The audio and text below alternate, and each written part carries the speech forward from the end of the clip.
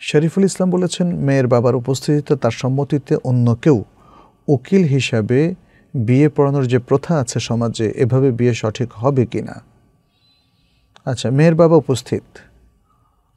তখন তিনি অন্য কাউকে উকিল তৈরি করছেন বা উকিল হিসাবে তাকে রোল প্লে করার কথা বলছেন বলছেন, আপনি পড়ায় দেন।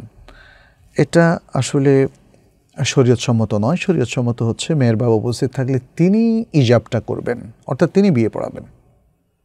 তিনি বলবেন, আমি, আপনি যিনি আজকে বিবাহের জন্য উপস্থিত হয়েছেন, আপনাকে এই মহারানের বিনিময়ে হাজিরানা মজলিসকে সাক্ষী রেখে আমার কন্যা অমুককে আপনার কাছে বিয়ে প্রদান করলাম, বিয়ে দিলাম। অতীতকালের শব্দ ইউজ করতে হবে। হ্যাঁ এই যে বিয়ে দিলাম, এটাই প্রস্তাব। বিয়ে দেওয়ার প্রস্তাব করলাম, এটা বলার দরকার নাই। বিয়ে দিলাম। কারণ আসলে তো বিয়ের অ্যারেঞ্জমেন্ট নিয়ে তো আমরা বসেছি। তাহলে ইজাবটা হবে বা প্রস্তাবটা হবে এরকম যে আমার কন্যাকে আপনার কাছে বিয়ে দিলাম। এভাবে বললে হবে। কিন্তু যেহেতু হাজিরানা মজলিস সেখানে আছেন, তাদের এখানে মহারানা হয়েছে কিনা সেটা জানা দরকার। এটা একটা সাক্ষী হয়ে গেল। বিবাহটা কমপ্লিট হলো কিনা ইত্যাদি এ বিষয়গুলো।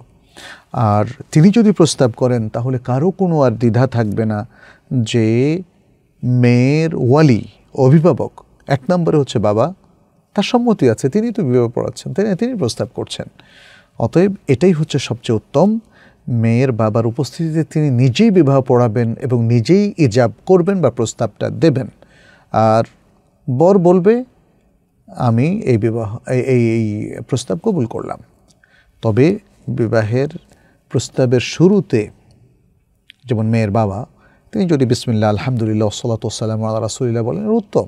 যে কোনো কাজের শুরুতে বিসমিল্লা বলাটা, এটা হাদিসের নির্দেশনা আছে। এবং আল্লাহর প্রশংসা এবং নবীর উপর দরুদ দিয়ে তিনি শুরু করলেন, তাই না? আর বড় যদি বলে বিসমিল্লা আলহামদুলিল্লাহ সালাতাম রাসুলিল্লাহ, আমি কবুল করলাম। সুন্দর। এগুলো যদি নাও বলে তবু তাদের বিবাহ হয়ে যাবে, যেহেতু ইজাব কবুল সুসম্পন্ন হলো। আর আমাদের দেশে ওয়াকিল তো আসলে বাবার সামনে করে না, যেটা করে সেটা হচ্ছে ওয়াকিল বাবা। আসল বাবা আর ওয়াকিল বাবা। এখানে আমি একবার এক বিয়েতে বলেছিলাম যে আপনি তো আসল বাবা, তাই না? তাহলে নকল বাবার কি কোনো প্রয়োজন আছে? সেরিয়া তো এরকম ওয়াকিল বাবা বা নকল বাবার কোনো আসলে অপশান দেয়নি আমাদেরকে, তাহলে আমরা সেটাতে কেন যাব?